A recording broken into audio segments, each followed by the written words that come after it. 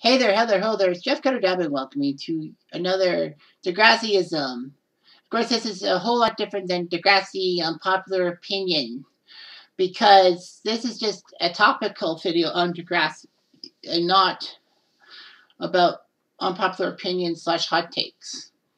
So this does have to do with CDUOs.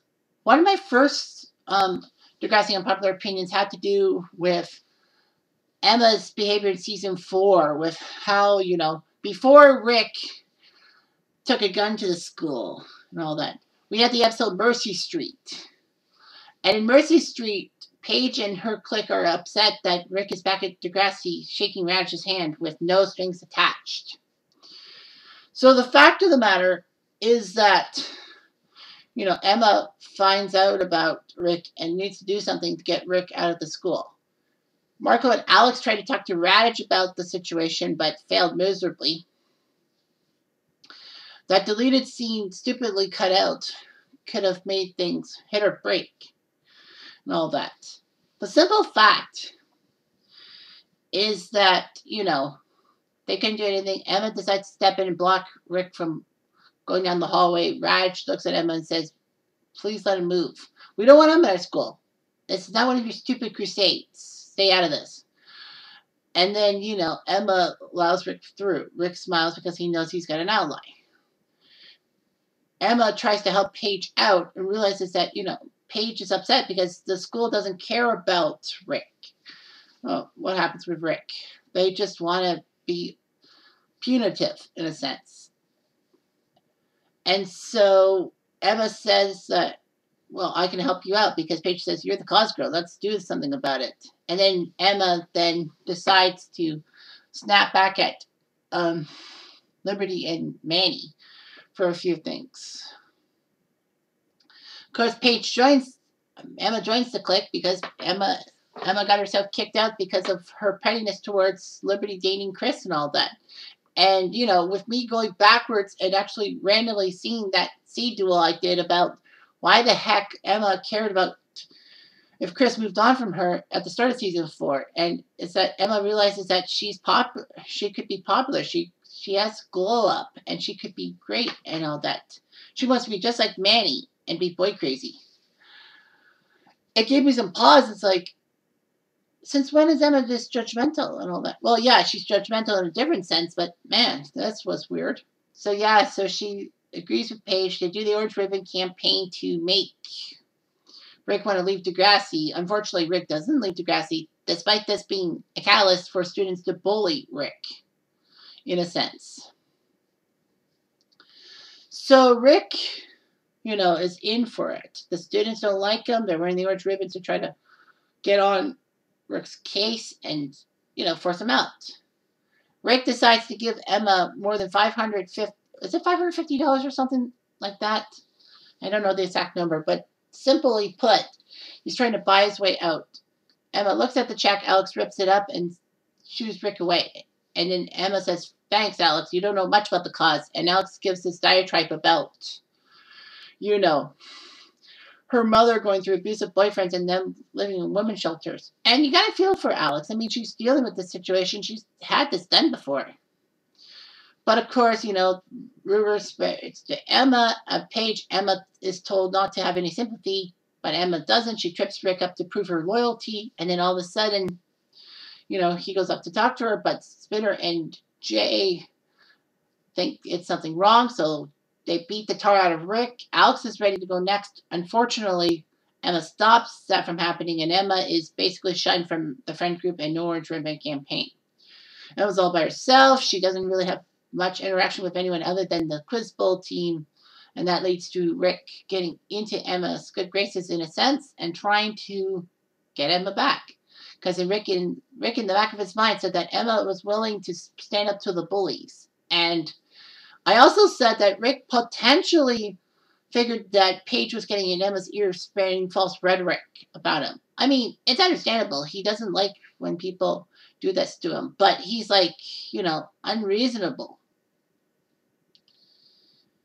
So anyway, yeah. So I did a post about this Degrassism and poll nine days ago, and for context, it's being taped on September 22nd, 2022. What do you think Emma's main reason for the Orange Ribbon campaign season 4 was?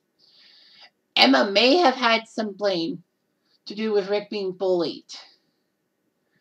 But she did have it taken away after protecting Rick, when, quote unquote, outside the dot. And that, I mean, the Orange Ribbon campaign. But what do you think her reasoning behind this campaign was above? I give you, I give four options and all that. Now, 134 people actually voted for this.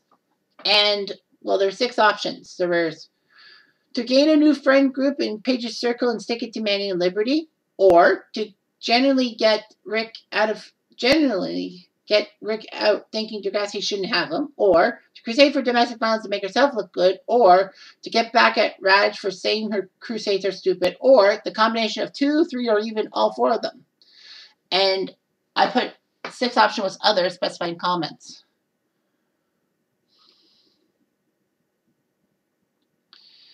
And a lot of people said there was a lot of combination and all that.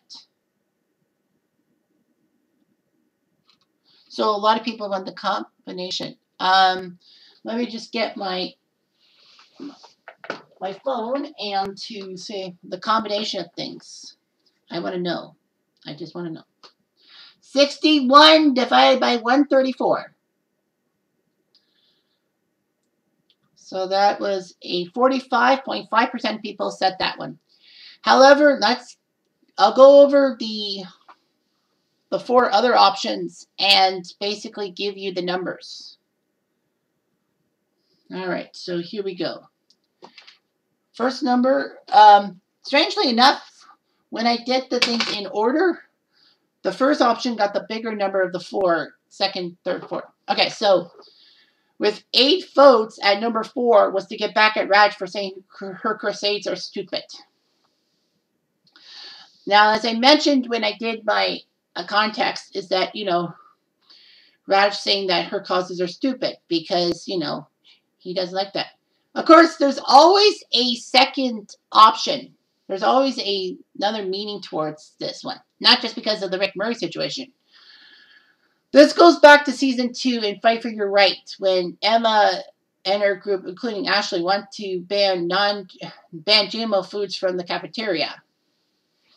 That's genetically modified organic foods. And, you know, Raditch says they put on a good presentation, but because of budget cuts and the fact that they were lucky to have a cafeteria, he can't do it. And I get it from Raj's point of view because, you know, students don't know much about budgeting and all that. Oh, shut it. Sorry, my phone's probably saying, be careful what you say, Cutter. But anyway, the budgeting thing. And, you know, students don't know much about budgetary things. Some students might panic because of that. But Emma didn't like it, and Emma basically passed out flyers about the food in the cafeteria. Raj takes them away. Emma does tell Manny he's going to wave, she's going to wave the white flag. And then they do a cafeteria commercial to stick it to Emma. And unfortunately, Emma getting very triggered in season two was just terrible a lot of these things I say are basically based off of, of unpopular opinions. So down in the description will be the main unpopular opinion video of the four things I'm going to talk about. And the one about Crusades being stupid is, did Raditch have a grudge against Emma? Pre-season four. Because what fight for your right, like Emma accidentally starts the food fight and Raditch blames her for it, and Emma refuses to buckle bow down such buckle to him. But then Raditch is upset when she protests outside school grounds and says you will apologize for everything or you will be suspended for a long time. Emma writes an apology to Raditch on cue cards, and Raditch looks him over and says, I'm glad we came to this. Well, Sp Snake also told Emma that it's complicated for him because as an educator, he can't go against his um, superior. But as a parent, he knows that Emma's heart's in the right place. So Emma does apologize for the food fight into the cafeteria and says that you don't have to like my genetically modified foods options and all that. That's fine. But I got ruined by free speech. And Raj looks perturbed. And so Emma tells them, I'm going to take the suspension. And Raj is upset. He does it anyway. I think he knew he had to. And part of me thinks that Raj had to because he was worried the students were going to run him out, or basically the inmates were going to run the asylum. You don't know much about Raditch and all that. I know that Rachel Violetta said that, you know, he was just a figurehead in a sense, and he lost touch with his students. But still, that doesn't make things happen and all that. I mean, everyone thinks, okay, maybe he put those people in solitary detention because of grudges against them. But no, Sean stole stuff from Degrassi. Raj didn't have to prove, but the punishment was basically because of it. Um, Hazel looked at some inappropriate sites. Al would get you in trouble every time. Ellie was cutting classes. Maybe it was because of her problems dealing with her mother and all that. But then it was found out she purposely did that to get a story for her newspaper article. Thank God that it happened to be that. If it happened to be something to do with Raditch, he would have been dead beat. And Toby and Jimmy were in trouble for changing grades on school computer. You can't do that. So that's the big part. And Raditch probably is upset because Emma's crusades trying to make him look like a bad guy. And he's trying to prevent that. Now, to me, it's like Snake probably had a hunch that Raj was just having it out for Emma.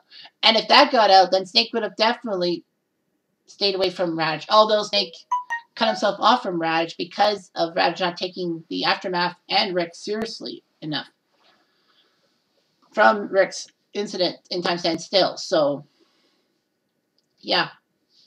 All right, so number three reason with 11 votes was to crusade for domestic violence and make herself look good. It's basically put, Emma was a pain in the butt in the first few seasons of Degrassi. She had a lot of crusades and she had a lot of egotistical stuff and all that. She was precocious, easily triggered, and making mountains out of molehills, especially in season two. And that would be the unpopular opinion I will link to down below in the description. But let's let's face it, Emma wanted to be the cause girl, and she knew she was the cause girl, and everyone called her the cause girl. They didn't think of her in any capacity at Degrassi. So the simple fact is that, you know, she wanted to, a new crusade because she didn't really crusade for domestic violence as much in the first three seasons. She she crusaded for the environment. She crusaded for abortion rights, kind of in a sense, when, you know, Spike wanted to abort Baby Jack. Uh, she wanted to crusade for, uh, what else did she want to crusade for? Genetically modified foods and, you know, a few other things that she would do. But the fact of the matter is she knew she was the cause girl. And she knew that she could get into Paige's clique easily. Even though that she was being branded, aka stereotyped, she still thought she was good and all that. And Emma wanted to make herself look good in everyone's eyes. And, you know, that's not good at times. But yeah. Okay. Number two was, with 16 votes, was to genuinely, genuinely, pardon my pronunciation, get Rick out of, out thinking Degrassi shouldn't have him. Emma had a point. Degrassi should not have had him back the school. She heard what happened to Terri MacGregor. And, you know, Rick getting away with it. Yeah, he got pulled out of school. He got pulled out of school by his parents. He wasn't expelled. It was his parents who took him out because Rick probably cried crocodile tears and lied about Terri's state of affairs. I think, in a sense, Emma wanted to change everyone's perceptions about her and all that.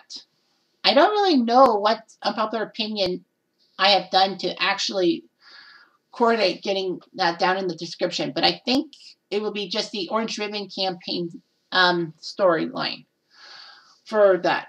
But the problem also with me is that that video is actually dated by a few years. So I think things, what I talked about two years ago, are different than what I talk about now in 2022.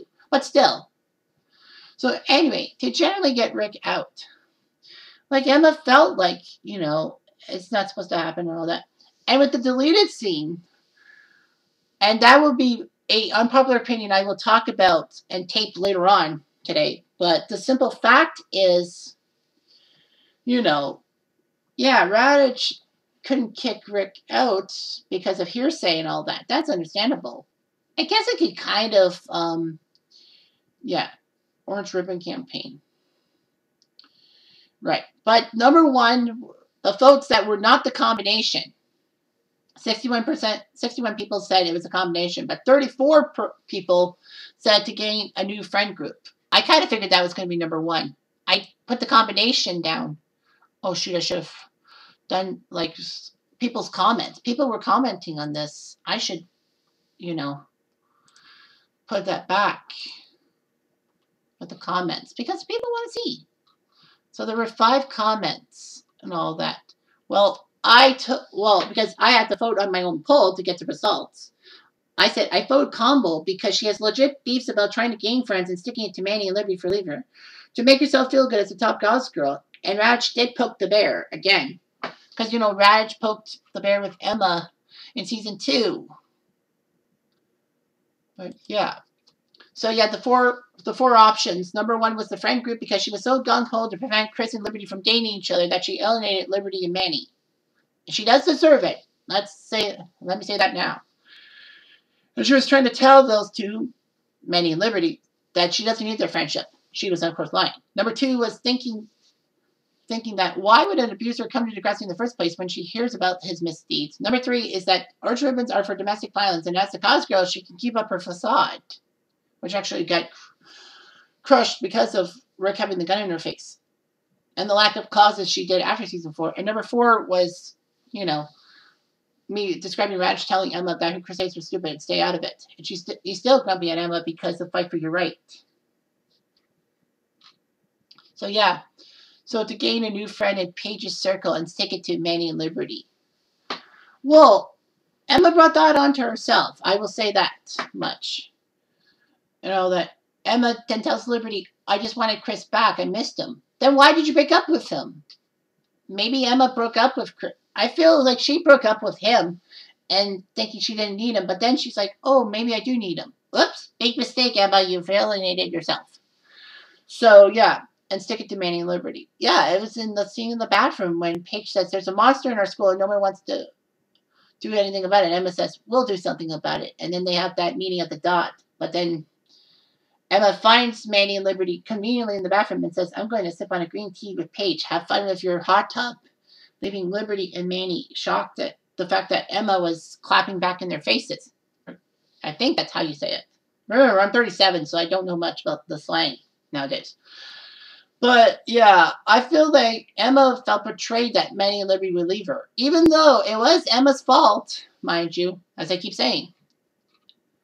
Uh, I gotta remember which unpopular opinion I did about that, so I'll have to write down what is going on. Why is my thing blowing up?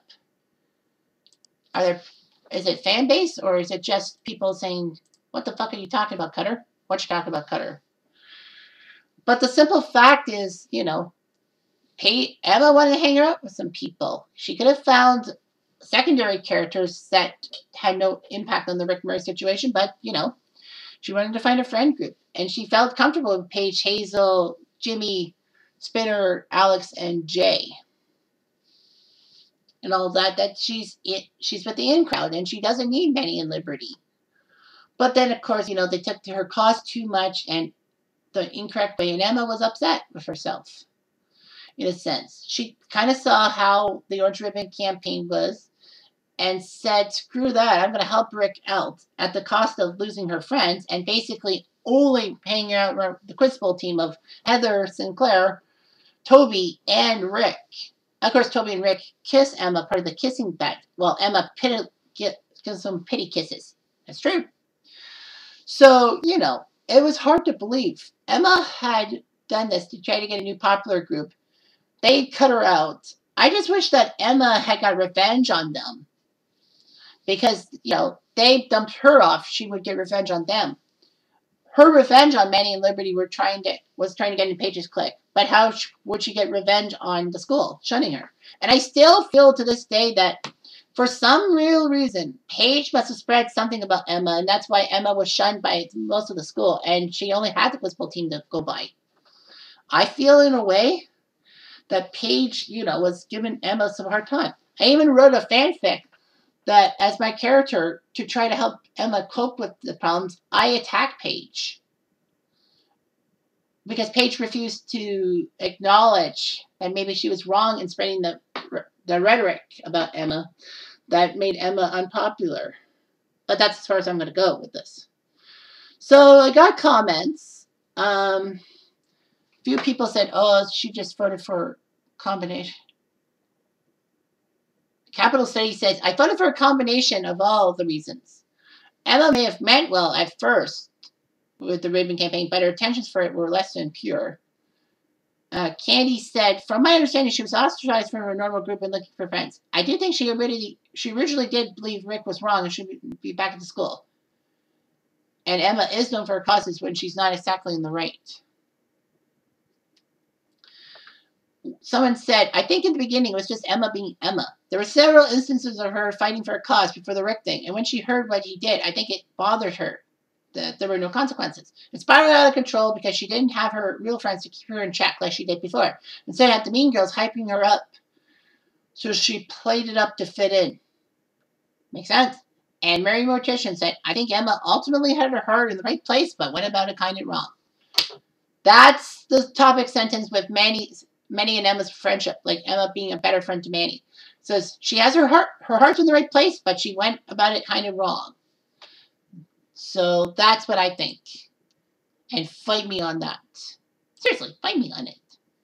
Anyway, thanks for watching. This is Grassism. I'm Jeff Diamond. Thanks for watching.